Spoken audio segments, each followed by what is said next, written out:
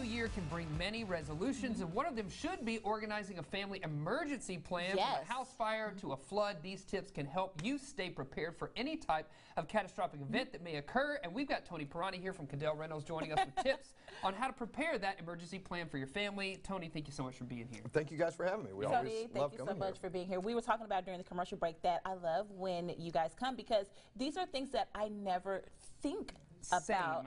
Same. If you don't sit down and really give it some thought, they don't occur to you until you need them. That's Right. why Right. planning ahead is so important. In fact, that's one of the biggest tips that I've got today is Yeah. planning ahead. Yeah, Yeah, so I we're going to be talking So- about how you guys at home, how you can prepare an emergency plan for your family. Tony, what are some tips there? So three main priorities. Um, you need to have a family emergency kit, Mm-hmm. a preparedness kit.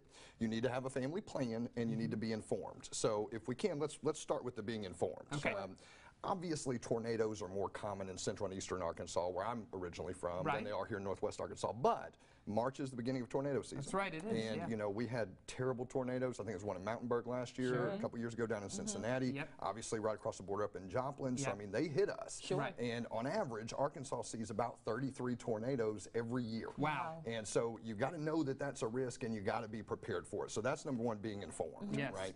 Um, in terms of a family plan, and we'll just kind of walk it back here, you need to communicate, Sure. right? Um, everybody needs to know in the event of an emergency, this is what we do. Um, have a meeting spot, Okay. you know, um, that if, if the family gets separated, you know, whether that's a, a tree out in the backyard Right. or, or, or I guess not a tornado, you wouldn't be outside, but Right. make sure the family knows how to find each other Yeah, Yeah, sure. yeah. right? And then you need a family emergency preparedness kit.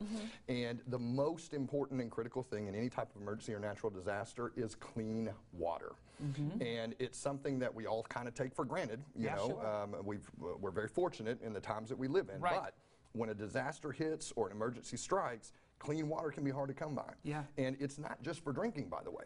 You need clean water for uh, cleaning purposes, So many sanitation, things. Hygiene, yeah. Uh, cooking, preparing food. Yeah. Sure. Um, and, and that's uh, generally speaking, uh, most experts advise and recommend that you have about a gallon of water per family member. That's going to give you about a three-day supply Mm. Okay. of water. And then you also want to have a three-day supply of food. Obviously, Yes. canned goods, dry crackers, things like that.